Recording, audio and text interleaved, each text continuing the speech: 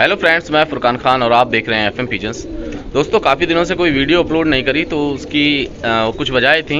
वजह नंबर एक तो ये थी कि कबूतर ख़राब चल रहे थे कबूतर बिगड़ गए थे। जैसा कि मैं दिवाली की छुट्टी में गाँव गया था तो मेरी एबसेंस में मेरे कबूतर बिगड़ गए थे।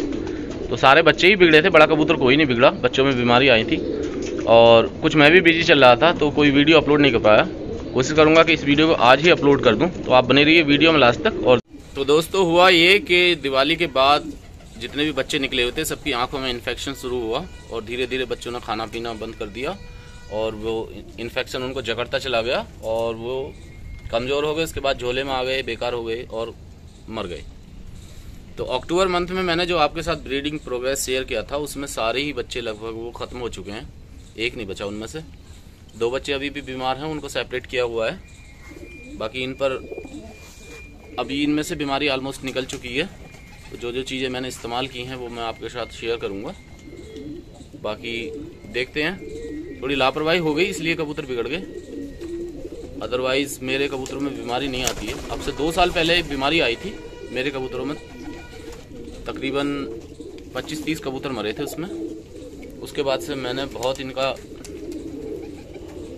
ट्रीटमेंट प्रॉपर इनका चलता रहता है। डी वार्मिंग और ये सब। और इन्फेक्शन का बहुत ध्यान रखा जाता है। ये जो आप छोटे छोटे बच्चे देख रहे हैं ना, इनकी सबकी आँखों में इन्फेक्शन है। इन वालों की तो नहीं है खैर बट हो जाएगा, मेरे को लग रहा है।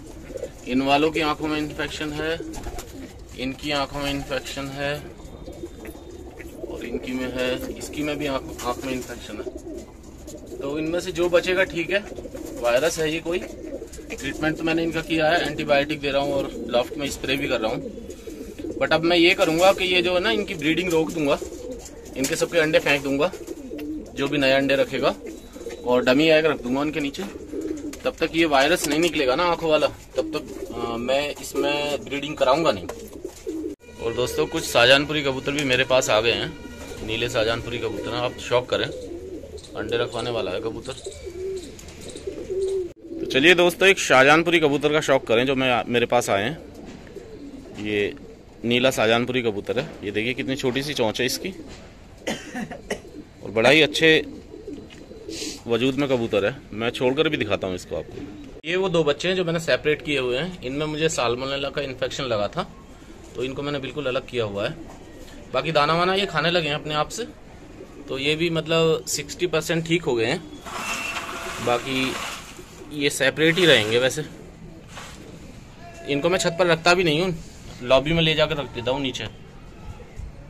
चलिए दोस्तों, ये थी आज की अपडेट, जिसमें मैंने बताया कि पिछले दो तीन वीक में क्या क्या घटा। अगर आपको वीडियो पसंद आई हो तो दोस्तों लाइक ज़रूर कर देना और जिन दोस्तों ने चैनल को अभी तक सब्सक्राइब नहीं किया वो चैनल को सब्सक्राइब करें। Okay friends thank you for watching